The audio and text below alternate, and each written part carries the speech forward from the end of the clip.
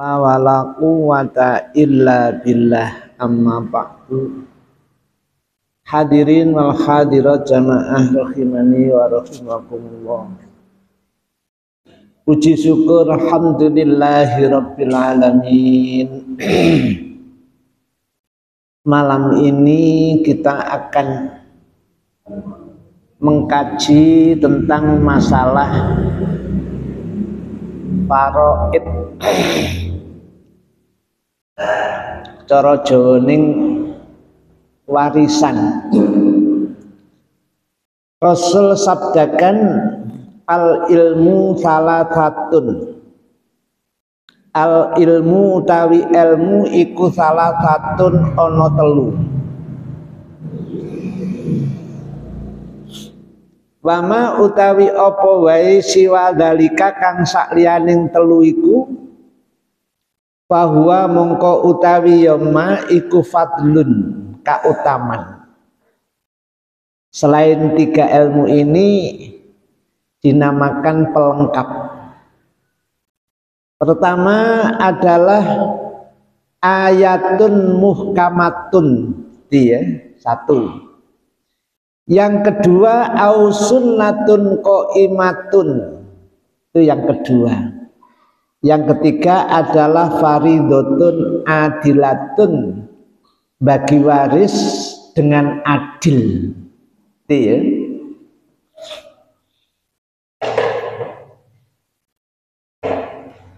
Bagi waris dengan adil adalah kalau ada Quran semuanya biar buka Quran. Quran, Quran semuanya biar biar buka.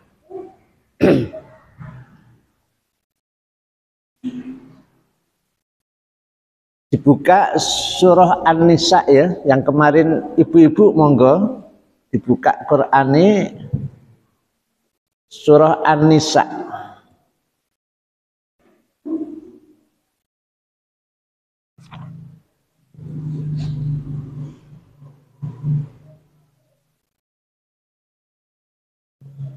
Ini ya yang pertama kita bahas.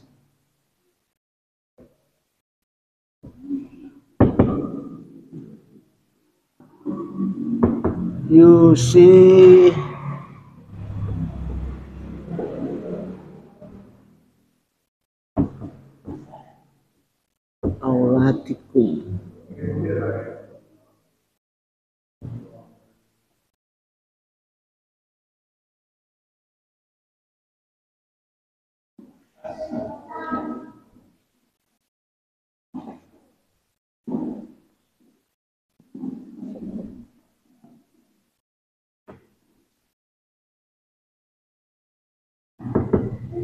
Pun ketemu ayatnya 11 di tadi hadisnya sudah kita ketahui bahwa ilmu di dunia ini hanya tiga. Selebihnya itu dikatakan pelengkap Tiga itu yang pertama adalah ayatun muhkamatun. Itu yang pertama. Yang kedua sunnatun koimatun. Sunnah yang harus kita tegakkan. Ketiga yang kita kaji malam ini. Yakni tentang masalah membagi waris dengan adil ukuran adil ya Quran ini. Kalau tidak dengan Quran itu namanya pengkhianatan. Jadi memang bagi waris itu dengan Al-Quran di syariat, syariatnya ini ya yusikumullahu fi auladikum. Kita berikan arti pelan-pelan yusikum nyari atake ing nira kabeh sapa Allahu Allah fi auladikum ing dalem para putra putri nira kabeh jadi Allah membuat syariat untuk kita tentang masalah warisan-warisan anak-anak kita atau anak cucu kita. Dan ini kita nggak bisa ya, mesti sing mati bapak edisik tidak bisa. Itu hanya Allah yang tahu. Sing mati ibu esik kadang-kadang anaknya ya mati disik kok. Jadi ini nanti bagaimana kalau yang mati itu anak dan anak ini kaya raya. Maka yang perlu kita pegang pertama yusikumullahu fi auladikum. Jadi Allah telah mewajibkan kita terhadap anak cucu kita untuk membagi waris dengan adil. Kalau ukurnya adil sesuai dengan Al-Quran. Bukan sesuai dengan hukum undang-undang Belanda, bukan ya. Bukan hukum adat tradisi Wonosalam, bukan. Ya. Tapi Al-Quran maka di sini Allah firmankan yusikumullahu fi auladikum. Jelas ya? Kemudian lidzakari ini caranya bagi lidzakari mitlu hadzil unsayain unsayain. Ini ya. Jadi ini yang kita pegang dulu. Lid zakari mitlu hadil unsayain. Lid zakari kanggo anak cucu lanang atau pihak laki-laki itu bagiannya seperti dua bagiannya anak perempuan. Cara Jawa ning sak pikul sak gendongan. Itu persis yang Allah firmankan mitlu hadil unsayain. Jadi mitlu hadil unsayain ini lidzakari mitlu hadil unsayain bagi laki-laki mendapatkan dua kali lipat bagiannya anak perempuan. Ini nggak bisa diutak adik loh ya. Tidak bisa ini ya. Jangan sampai punya alasan wong sing rambut bapak aku kok. Aku kudune luwe akeh timbangane wong lanang tidak bisa. Kita merawat orang tua kita itu warisannya surga, bukan warisannya sawah, bukan. Awas loh jangan sampai salah loh ya. Ini karena banyak di kita itu apa ya? Jadi nafsu nih yang digunakan untuk memahami urusan warisan tapi bukan Al-Quran. Ini setelah jelas laki-laki mendapat dua kali dari bagiannya anak perempuan, kemudian fa'in kunna nisaan ya, ya fa in kunna nisaan.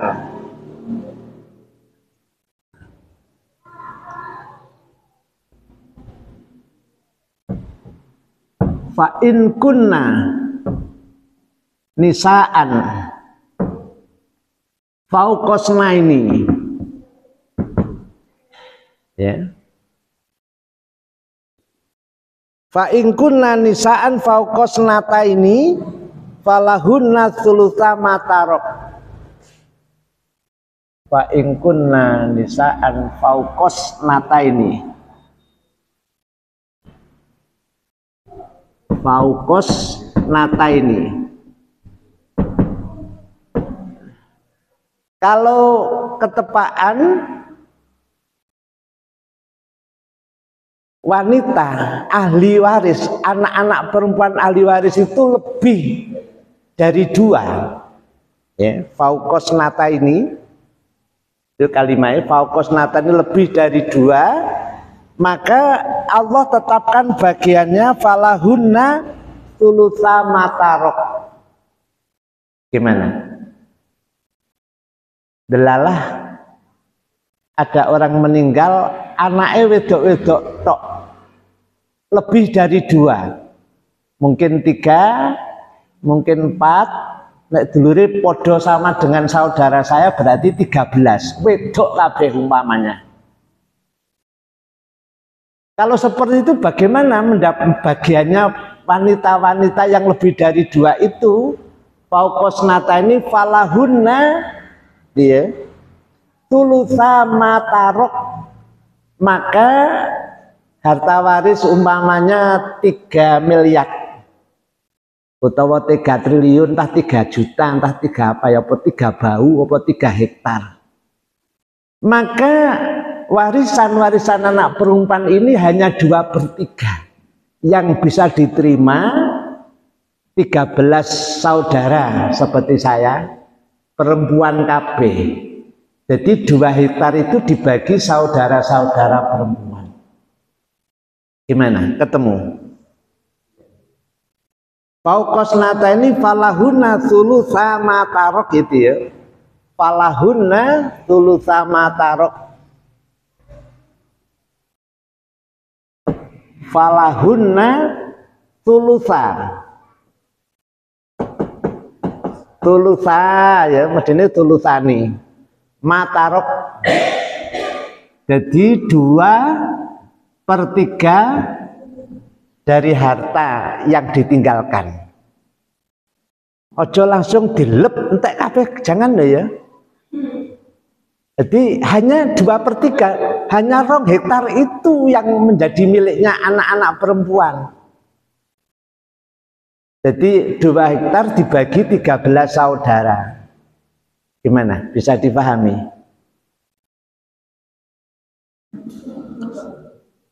Ya. Nata ini falahuna tulutama tarok. Wa ingkana swahidatan. Nah ini berikutnya. Wa ingkanat wahidatan.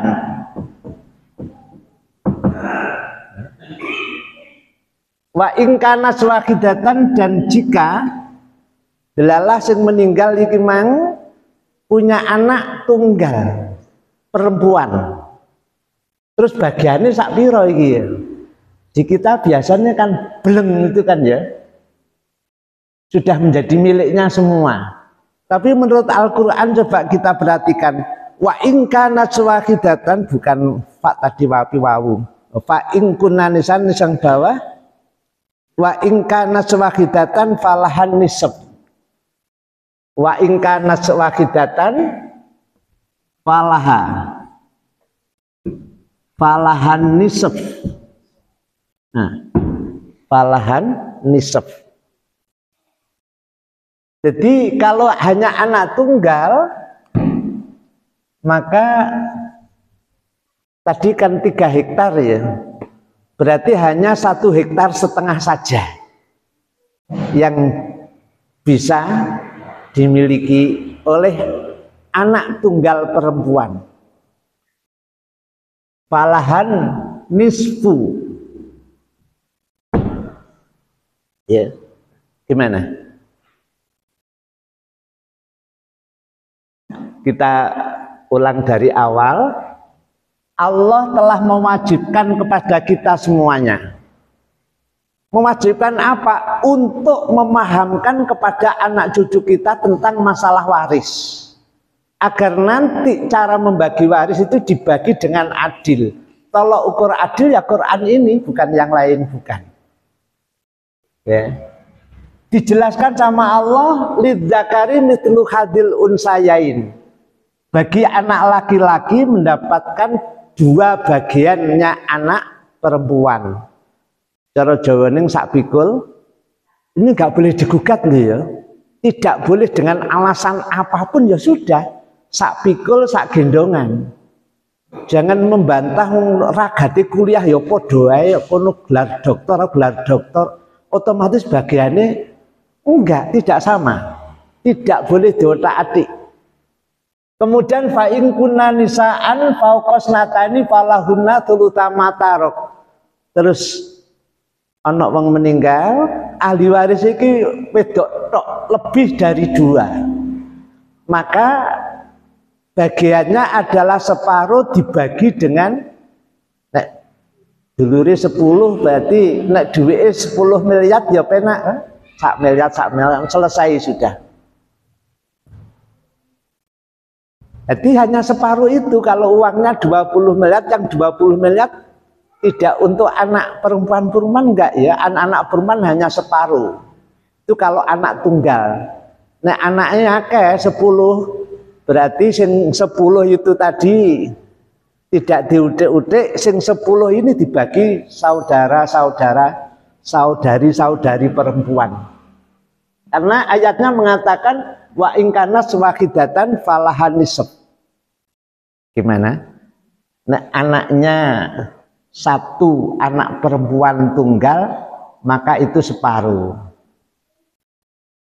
Nah, tadi kan dua per tiga didum sak dulur, nah anak itu separuh dipek dewi. Separuh ini nang di kapan-kapan nanti dibahas. Yang penting ini dulu. Pakemnya yang pertama sak pikul, sak gendongan. Itu yang harus diingat. Gimana sebelum dilanjut? Itu baru sepucuk ayat ya.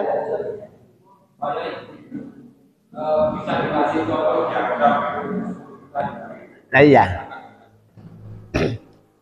Ono wong mati maka yang laki ini mendapat dua, yang perempuan mendapat satu. Jelas? Entah yang mati ini ayahnya atau ibunya atau dua-duanya meninggal. Jadi gono gininya dibagi sing anak laki ini mendapat dua kali lipat. Jadi andaikan hartanya tiga hektar, ya ini tinggal dibagi tiga. Satu hektar, satu hektar, satu hektar. Sing wedok itu dulure situ iki mang berarti oleh siji, sing lanang iki mang sama satu orang berarti oleh loro. Gimana? Gampang toh sak bikul sak gendongan? Sekarang kalau anaknya itu anak perempuannya lebih dari satu, padahal hartanya ini tiga hektar ini tadi ya, tiga ini tiga hektar ya. Anaknya perempuan ini oh, tempat lain saja, masih tiga hektar hartanya. Terus meninggalkan anak perempuan seorang maka tiga hektar ini hanya mendapatkan satu hektar setengah. Ya. akan tetapi jika ada orang meninggal hartanya tiga hektar. Anaknya sepuluh. Satu dua tiga empat lima enam tujuh delapan sembilan sepuluh. Maka hanya satu hektar setengah saja. Bukan, keliru saya. Dua per tiga. Dua per tiga berarti berapa ini? Nek tiga hektar. Dua hektar ini dibagi uang sepuluh. Ai, bagiannya itu ya dibagi sepuluh orang ini. Jadi masih disisakan satu hektar yang dibagi hanya dua hektar saja. Gimana? Kalau itu banyak kalau bagian semuanya tiga hektar itu kepada lain-lain dan nominalnya itu bisa berbeda. Pokoknya di tempat A. Lah ya, gampang tuh tinggal tinggal diuangkan saja tuh. Sak hektar no jajari pasar kono regane 5 miliar. Lan sisto nunggone sing jero kono gak ono regane. Didol gak ono wong. Berarti kan nilainya ya. Iki iki tiga hektar iki nek menawa pas tokonya jejer-jejer satu toko tiga, satu miliar umpamane ya penak situ ding selesai. Akan tetapi kalau tokonya beda itu tokonya nawana salam satunya di kandangan beda kan? Satunya di Surabaya beda harganya. Maka ini berarti di total jenderal diuangkan kemudian dibagi uang. Nek coro Jawane nyusui. Gimana? Jadi seno seno wono salam, seno wono salam oleh susuk teko kandangan, walaupun gak patah akeh sing teko Surabaya oleh susuk akeh Sehingga nilainya sama. Sudah? Ibu terus? Didol dhisik enggak? Iya. Di kerto aji cara nih. Iya. Cara Jawa ini di kerto aji ya kertas ini kini sak miliar untuk kandang regane rong miliar. Dan di Surabaya 10 miliar. Itu kan ya. Lagi kan gampang nakok norgon diklik kan metu kan ya. Surabaya darah ini per toko per meter kan ketemu sudah. Dan untuk kandangan oh mikir rong juta dan ono salam mangatus sewu mamane ya jadi ini otomatis di kerto aji Iya pahamnya di kertas ya. Ya. Bisa dilanjut? Ya. Jadi kalau satu, bagiannya kan satu setengah. Jadi yang Iya, sepertiga. Yang separuh. Uh -uh. Iya.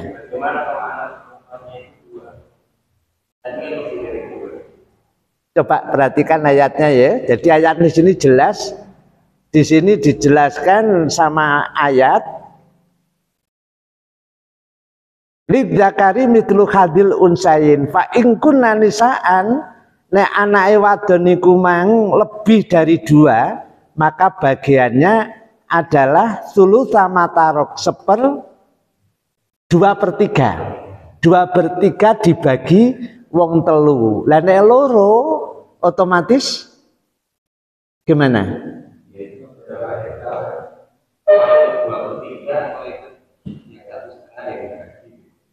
Iya. Coba ya, tak bacakan tafsirnya. Tafsirnya Faukos Nani.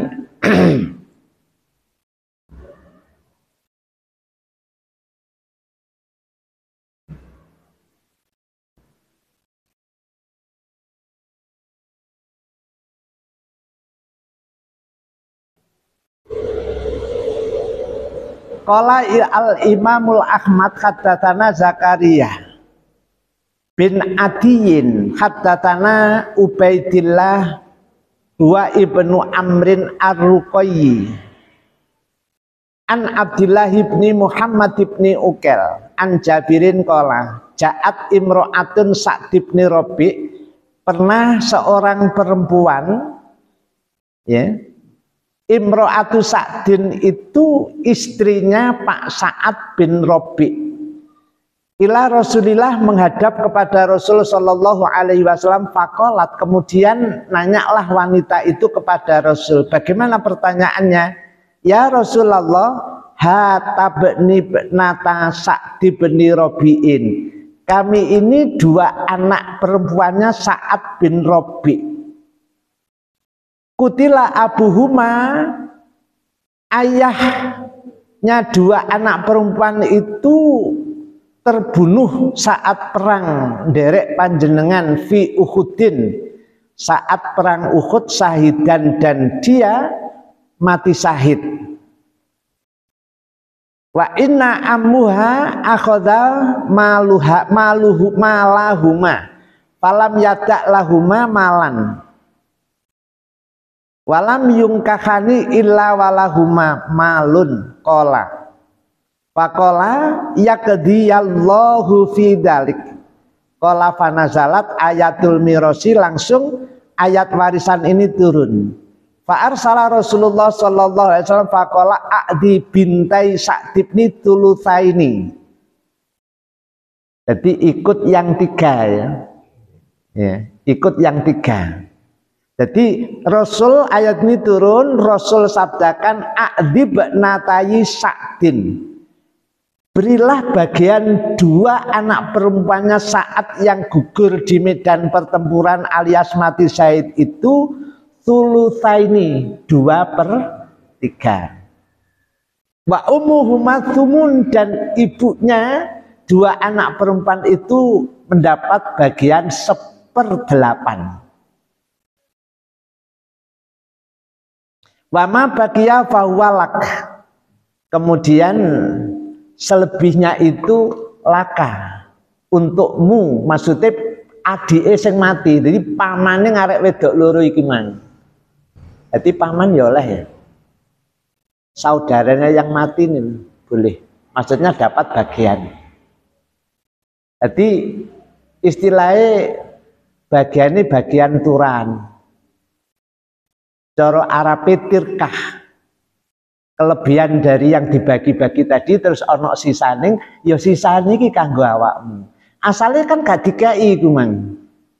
Dua anak perempuannya nggak dikasih terus istrinya nggak dikasih ternyata anggapannya itu tadi dimiliki. Tapi apakah betul seperti itu?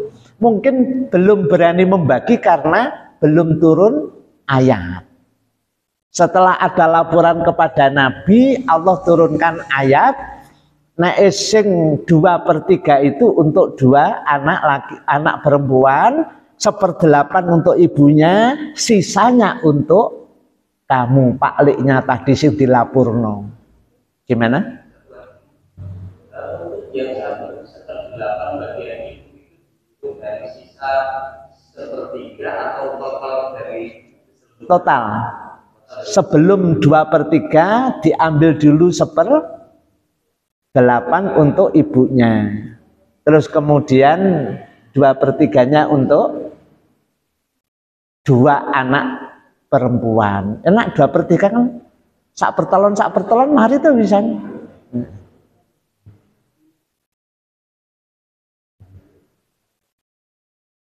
Kita lanjut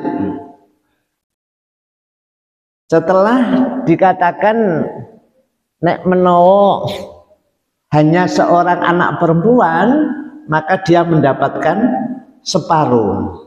Falahan nisf. Wali abawahi likuli wakidin min sudis. Wali abawahi dan untuk kedua orang tuanya, baik ayah ataupun ibu itu mendapatkan, berarti si mati ki anak ya, kalau anak yang meninggal, maka ayah mendapatkan seperenam, ibunya juga mendapatkan seperenam. Kita ulang. Wali abawai likuli wakidin min sudus. Tiap-tiap seorang orang seorang tua, baik itu ayah ataupun ibu mendapat seperenam. Dari mana mimma tarok dari harta yang ditinggalkan mati oleh anaknya tadi. Maka bapaknya mendapatkan seperenam ibunya juga mendapatkan seperenam. Jenengan semak loh ya ayatnya ya. Ingkana lahu waladun. Kayak gitu kalau memang yang mati tadi punya anak. Ada si A meninggal. Si A ini punya ayah, punya ibu, ya. Terus kemudian punya anak. Ingkana lahu waladun.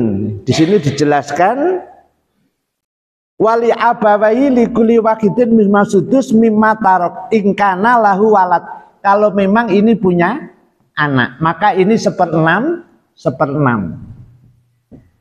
Ya seperenam seperenam kalau memang punya anak. Fa'ilam yakun lahu waladun wa warsa abawahu fali umi sulus. Kalau tidak ada anak ya anaknya gak ono. Kok mana wong nikah gurung kok iya iki. Umpamanya begitu terus meninggal tapi soke dewi anak si Joko si Bujang soke meninggal belum nikah maka di sini dijelaskan sama Allah Subhanahu wa taala in kana waladun fa ilam yakun lahu walad wa warithahu abahu fali umisul. Kalau tidak punya anak, maka warisan itu tadi dibagi menjadi tiga. Kemudian ibunya mendapatkan seper tiga. Gak ono anake. Nek ono anake seperenam, nek gak ono anake sang ibu mendapatkan seper tiga bapaknya otomatis turane sik. Piro iku? Dua per tiga kan? Tetap sak pikul sak. Gendongan.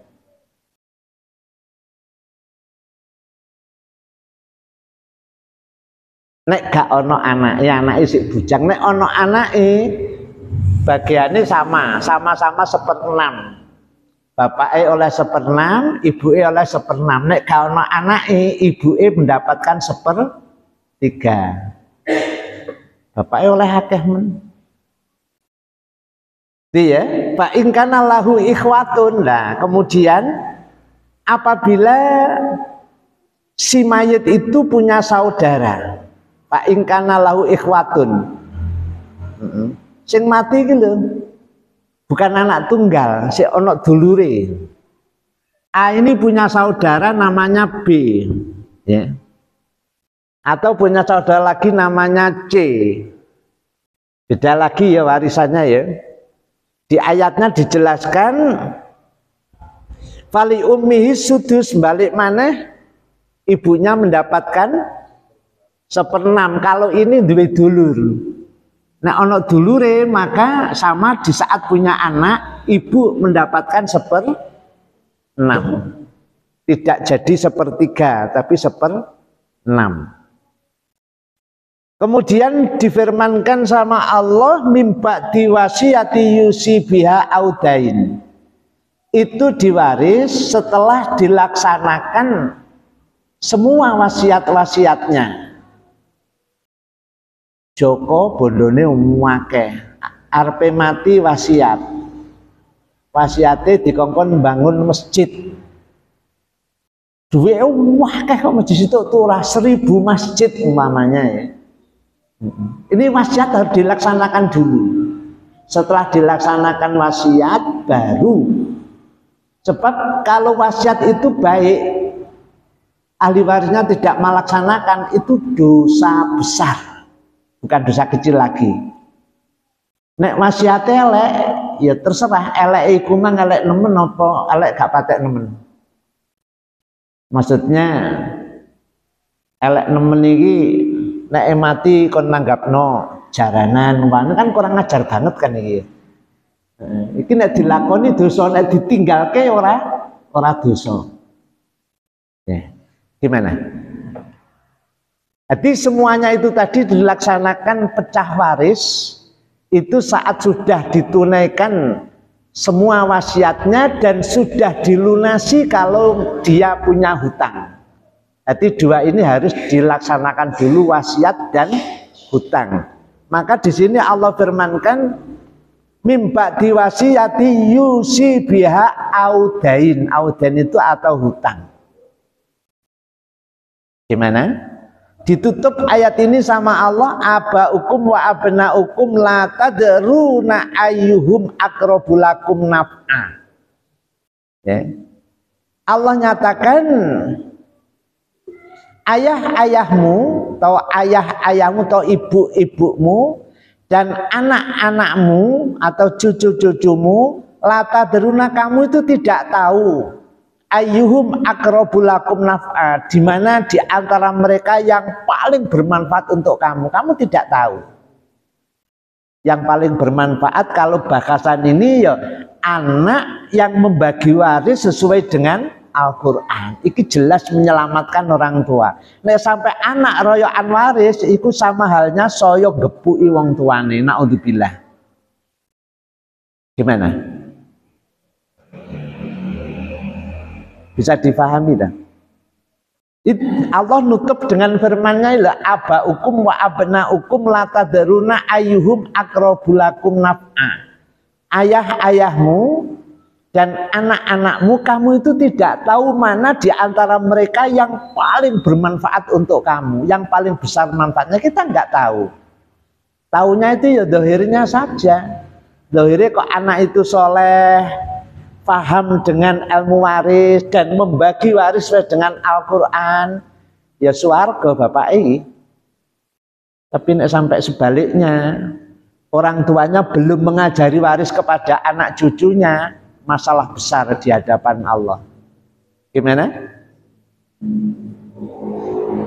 Innallaha kana aliman hakimah sungguh Allah maha mengetahui lagi maha bijaksana. Jadi ngedum koyok mang itu atas kebijaksanaannya Allah. Dan Allah itu maha tahu. Maha tahunya gimana di antaranya opo nek anak lanang kok oleh sak pikul. Rabi kita ngejawab ngeramut bojo. Apa wedok kok mesti separo? Ya ya nek rabi iki wis diingoni karo bojone. Gampangane ngono. Bisa dipahami ya? Ya. Nisa masih berapa menit lagi?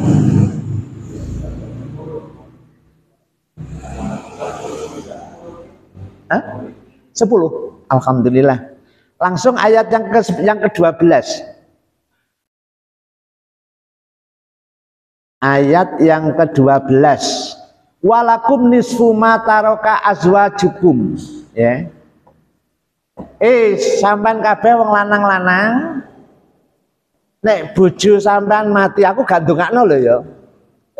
Enggak. Nek bojo wadone sampean mati Allah nyatakan sampean iki lho oleh bagian warisan. Warisannya sak pironis pun separuh duit 2 miliar berarti sampan oleh sak miliar. Ini kalau sudah ada ikatan ijab sah ya, ada surat nikah nek cara administrasi ini. Sing wong lanang wis ngucapke qabil tu nikahaha wa tazwijaha bil mahril matkur halan. Mas kawine iki mang sak juta. Bimahari miliunan wahidan. Aku bayar mas kawin sak miliar lah kok mari rabi? Rondo sendiri rabi mang lo mati kok.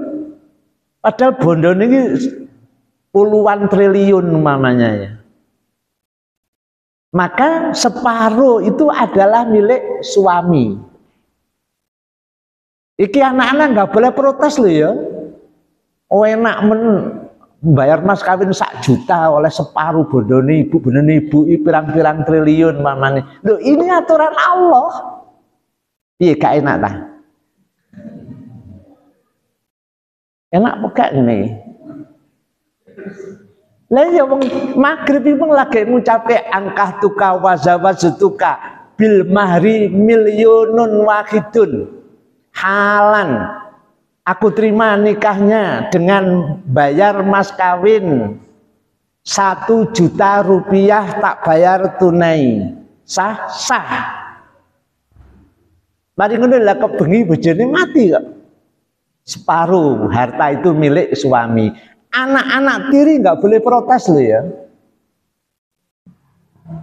Iya, abot. Lah ya maksudnya anak-anaknya abot.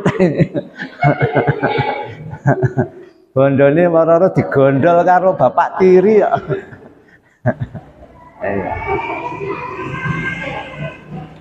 Ayat 12. Ya. Coba dibaca terjemahnya. Ada.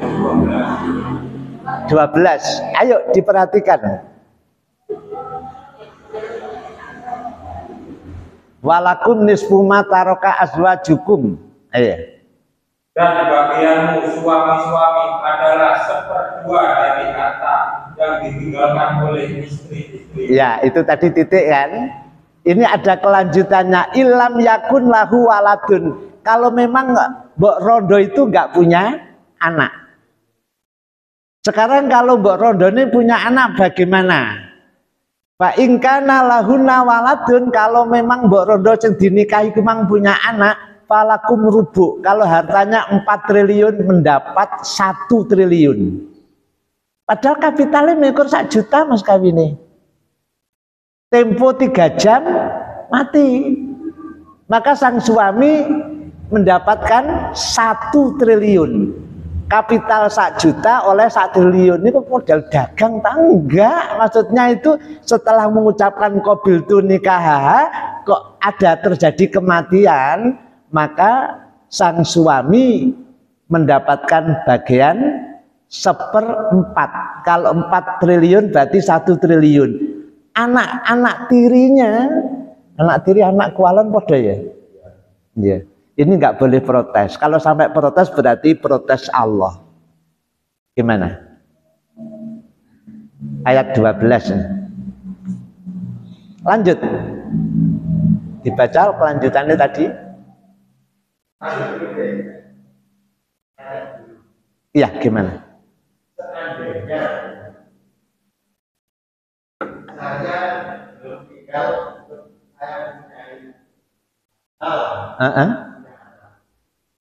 Tinggal tapi mati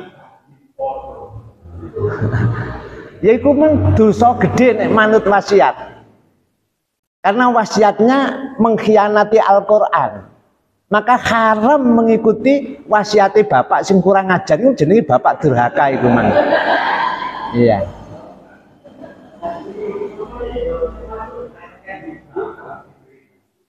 Hibah itu boleh kan sebelum turun ayat ini kan.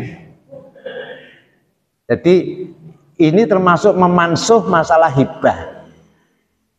Ya.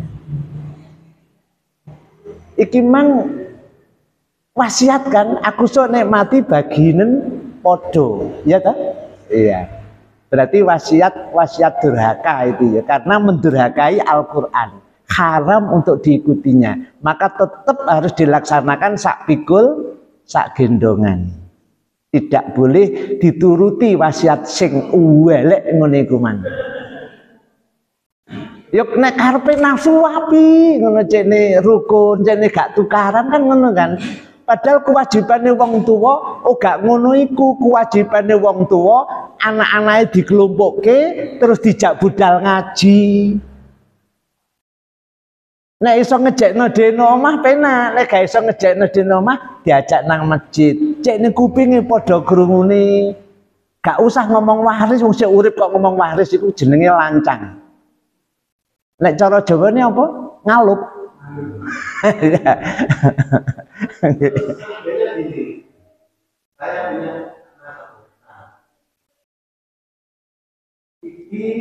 Saya punya aku, iki tak aku. Nah, mulai dari selesai. Tahunan. Setelah itu, tapi tak dulu hasilnya apa? Hmm. Kayak minta itu. Padahal cek urip, ya padha lancang niku mang. Iku jenenge orang tua durhaka. Durhaka nang Quran iki lho maksudnya ya.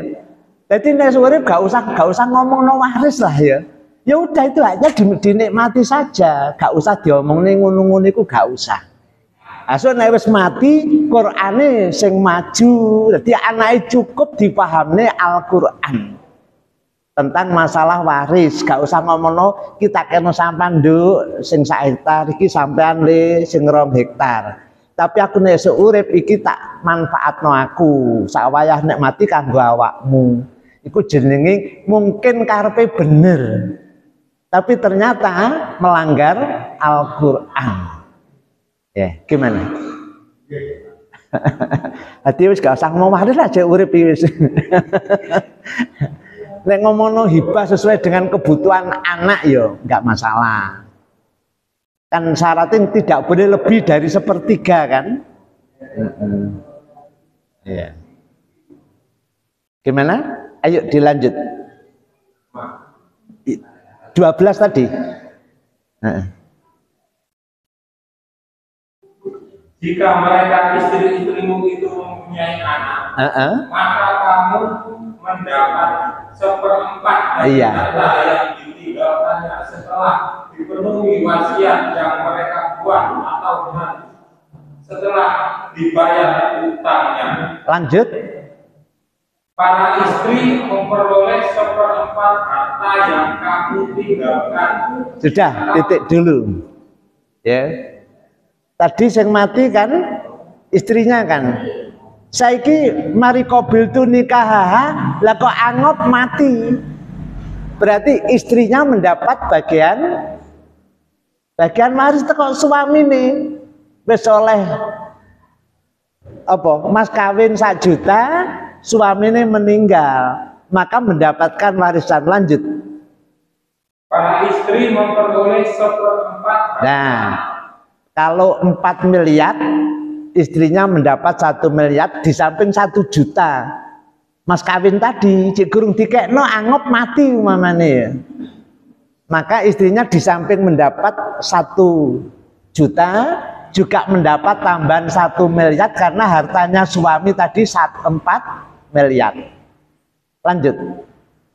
Seperempat harta yang kamu tinggalkan jika kamu tidak mempunyai anak. Lah iku nek menawa dudone enggak nggawa anak, gak duwe anak.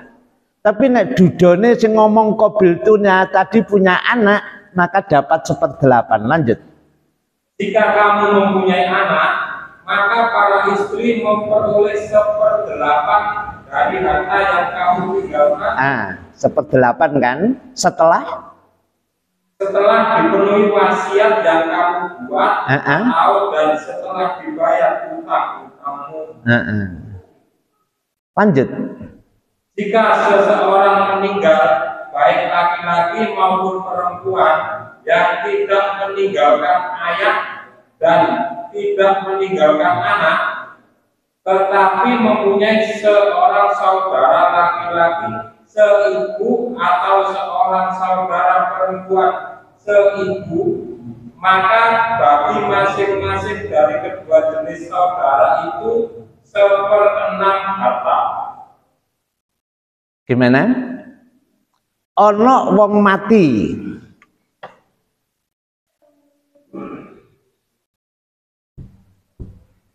Kembali ya, yang mati A. Tapi iki gurung nikah. Tapi di dulur B. Di dulur malah C. Eh? Terus bapaknya wis mati. Tinggal ibu yang masih ibu. Ayahnya sudah meninggal. Lah ini adalah saudara seibu. Ini namanya dan A yang mati ini belum punya anak atau belum menikah. Itu namanya ahli waris ini ahli waris ini kan atau ibunya meninggal juga. Tapi ini saudara seibu. Ayah iki ayah tiri. Terus A iki mati.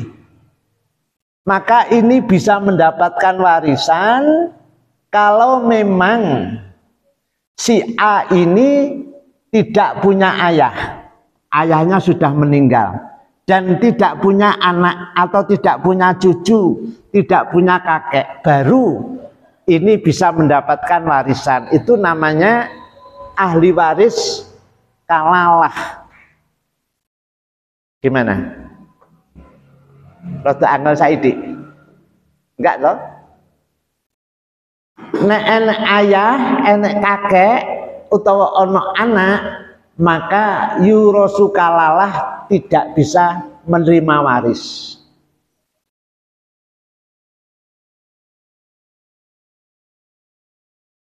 Iya. Walahu akhun au ukhtun falikuli wakidin minhu masudus fa ingkanu aktara min dalika fahum suraka. Ditulus. Nek dulure wakeh ya hanya sepertiga didum sak dulur-dulure iku mang. Jadi saudara seibu itu bisa menerima warisan kalau saudaranya yang meninggal itu sudah tidak ada ayahnya, tidak ada kakeknya, dan tidak mempunyai anak, tidak mempunyai cucu. Kalau salah satu di antaranya anak, cucu, ayah, kakek ini masih ada, maka saudara-saudara ini tidak bisa mendapatkan bagian. Dan C ini ya saudara B dan C tidak bisa mendapatkan bagian. Bisa mendapatkan bagian karena yang mati ini tidak ada ayah, tidak ada kakek, tidak ada anak, tidak ada cucu. Maka saudara seibu bisa mendapatkan warisan. Warisannya tadi sudah dibacakan 10 menit deh. Ya.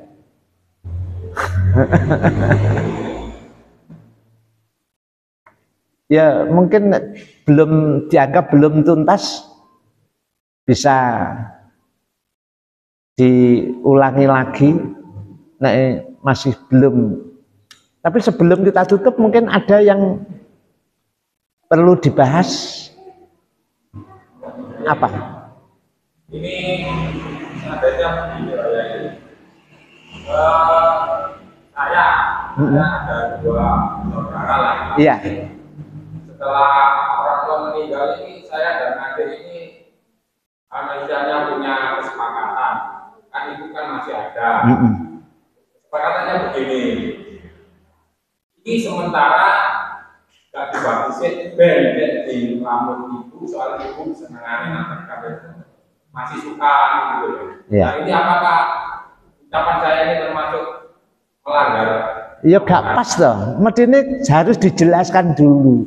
Nek sing mati suamine kalau anak-anake berarti seperdelapan milik ibu. Terus yang tak jenengan iki terserah jenengan kekno ibu monggo, jenengan pinjamkan ibu monggo. Tapi Qur'ane dilaksanakno dhisik. Gimana? Bisa dipahami?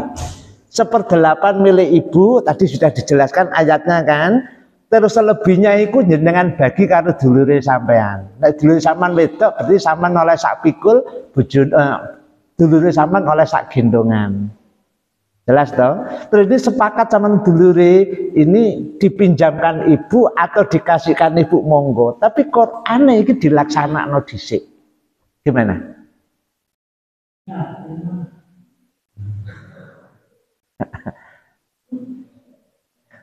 Gimana? Anjane gak gampang kok harus iki. Seperti gak ilmu masalahnya. Nah, seperti gak ilmu dibelajari mekur sak jam maghrib misak kon pinter ya kon ndi. ya alhamdulillah yang penting kita tahu ayatnya nanti dibaca berkali-kali terjemahannya terus direnungkan apa meneh nek tahajud atau mari tahajud dibaca dibaca terjemahnya nek punya tafsirnya dibaca tafsirnya Insya Allah cepet pinter enggak ya. iya. Berarti ibu. Ya Iya. mem- mempunyai anak laki-laki lebih dari satu dan perempuan juga lebih dari satu itu apa pembagiannya apa apa sama dengan yang tadi sama sebetulnya ya. Suami istri istrinya ma- masih hidup. Suaminya meninggal istrinya masih hidup. Terus punya anak empat. Dua laki dua perempuan. Iya tak gimana? Iya seperti ini.